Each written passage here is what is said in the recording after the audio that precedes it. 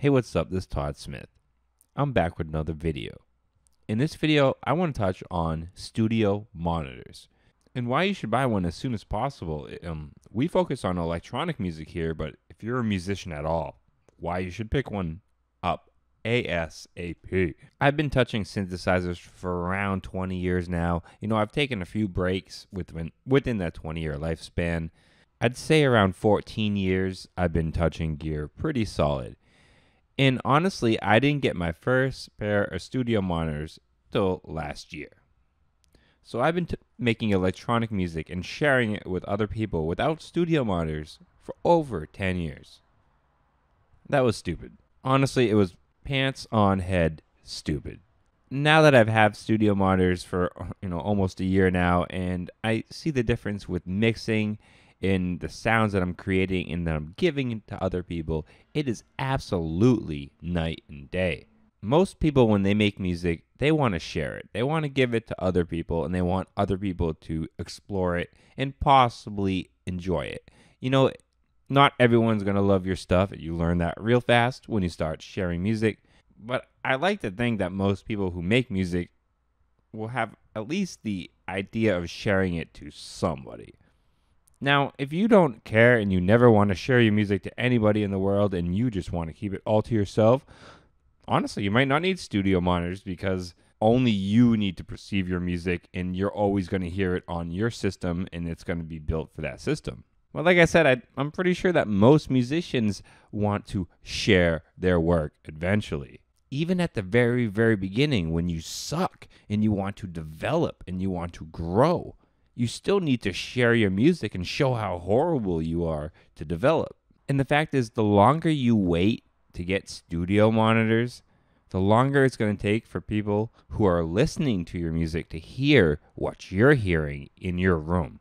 Yes, I'm not 100% yet. I don't know if I can pass the car test, the faithful car test, but I know there's been a huge difference between when I started using my monitors to when I was mixing and making my music on various crap headphones or crap speaker systems that were not built for musical production. And I can understand maybe why you don't want to get studio monitors right away. They don't make sounds, they don't have their own unique noises, they don't have awesome capabilities like a lot of these electronic toys. They don't have lights, they don't have knobs. You know, they don't have all these cool things that synthesizers have. So it can be very easy to just keep buying gear, buying gear, buying gear. Studio Monitor is like your translation piece to everybody else. So it doesn't matter anything you buy before the studio monitor, chances are once you start sharing that, it's going to sound nothing like you are creating in your room. So to have any piece of gear sound anything like it's meant to, you need studio monitors. Unfortunately, it took me way too long to actually realize this because I am stupid, but you shouldn't be. And you should definitely buy studio monitors as soon as possible within your system. Now, as what is the best studio monitor, how to set them up, blah, blah, blah, blah, blah, blah, all that technical mumbo jumbo, I don't know. I can barely even get my sound coming to you guys. There's a lot of videos out there showing, you know, how to st- set stuff up, um, studio monitors. Honestly, studio monitors themselves is an adventure. There are so many options. It can be a little bit overwhelming, but if just go through some videos, research your room, go to your local store, tell them the dimensions of your room, what you're working with, you know, talk to get in some forums with some people who are in with studio monitors. If you know nothing about, just talk to people, get to people. Me, I came down to the idea that I wanted the HS08s from Yamaha.